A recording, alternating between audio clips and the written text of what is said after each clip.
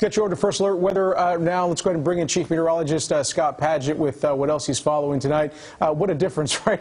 Our night uh, sky looks from now to this morning. Yeah, absolutely. We had uh, that round of strong and severe storms move through this morning. You see the cloud cover increasing to the west. We have that next round on the way later on tonight. So let's break this down a little bit more for you. And you can see the severe threat is there as we go into the evening hours into tomorrow morning. So you can see by the time we go to about the overnight hours between about about maybe 9 to 2, 3 in the morning. We're going to be seeing these morning strong storms on the way in the overnight hours. Then as we get closer towards about the 6 o'clock time frame, a lot of that activity continuing to shift its way to the east. But with the threat in place, there is the potential we could see more tree limbs down as we do go through the morning hours with these straight line winds on the way. So as we take a look at exactly what's going to be going on as far as that alert is concerned, you're able to see that I'm calling about 9 o'clock-ish 9 o'clock-ish or so to about 5 a.m. Storms developing off the dry line. They're already out there. They're moving east.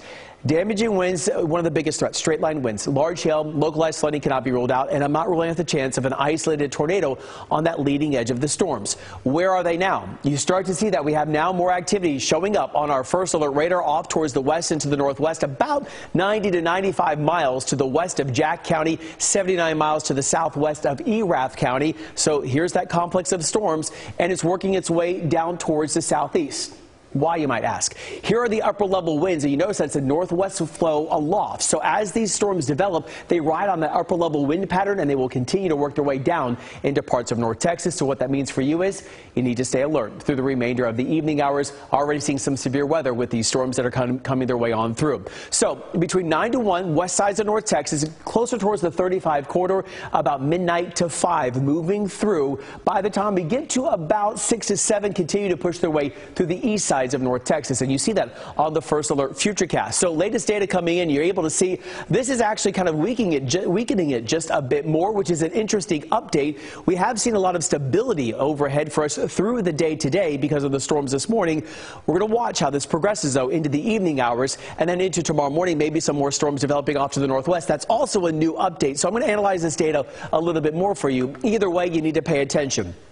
Slight risk of severe storms west sides of North Texas continuing to that marginal risk over parts of the Metroplex. So tomorrow 85, those rain chances around 50% for us after the morning storms. But on Thursday, I've issued another alert for Thursday night into Friday morning because that coverage going up to 70%. Slight risk of severe storms the northwest sides of North Texas for Thursday night to then that marginal risk on the way up for the same story. Dryline storms developing out to the west, moving their way from west to east as we go into the evening hours maybe on a weakening trend, but that doesn't mean we don't need to pay attention. So that's why the alert is there for us. Main threats, damaging winds, very large hail. That northwest wind aloft still keeping us with that same pattern. We're sitting at 77 right now with an easterly wind at 12. Across parts of the Metroplex, our temperatures in the upper 70s to the mid 70s holding on. Where we haven't seen a lot of rain today, low 80s Corsicana to 80 in Hillsboro. So into tonight, a coverage going up to 50 to 60% by midnight. Then into tomorrow, we start out with rain coverage, storm coverage, or maybe about 40% tapering off through the day, still warming to the mid 80s. But then we need to look at this. First alert, seven day forecast shows we really don't have a break, Ken. We're going to be seeing uh, 81 degrees Friday, that mainly that 70% in the morning hours. Then on Saturday, 40% chance of showers and storms. When we start June with still this active pattern, possibly some strong storms Saturday night. We finally start calming down a bit, it looks like, by next Tuesday. Yeah, it looks like that roller coaster ride is going to continue at least a little bit longer. Yeah. Thank you, Scott. Well,